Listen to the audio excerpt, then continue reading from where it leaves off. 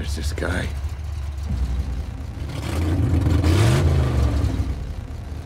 He doesn't care about proof. He doesn't care about the law. He only cares about what's right. He knows what I did. You can't protect me.